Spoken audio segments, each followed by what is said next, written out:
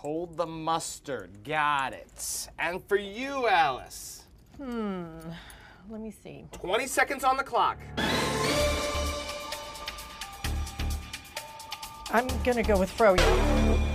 Ooh, sorry. The correct answer was chicken salad, but you do walk away with $6.